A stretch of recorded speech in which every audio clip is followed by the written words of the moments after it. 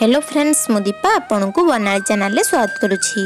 Friends ଆଜି ଆମେ ଅନୁଚିନ୍ତା ବାୟା ଗୀତାରେ କୁହାଯାଇଥିବା ଅନ୍ୟ ଏକ ବିଷୟବସ୍ତୁ ଉପରେ ଆଲୋଚନା କରିବା।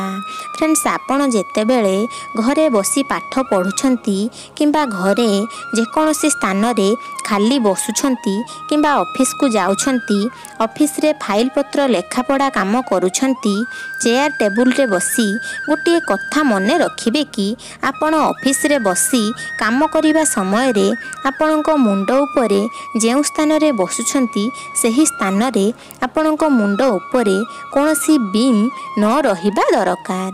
ଆଉ ଘରେ ପାଠ ପଢ଼ୁଥିବା ସମୟରେ ବା ବସିଥିବା ସମୟରେ ମଧ୍ୟ ଆପଣଙ୍କ ମୁଣ୍ଡ ଉପରେ ଯେକୌଣସି ବି ବିମ୍ ନ ରହିବା ଉଚିତ।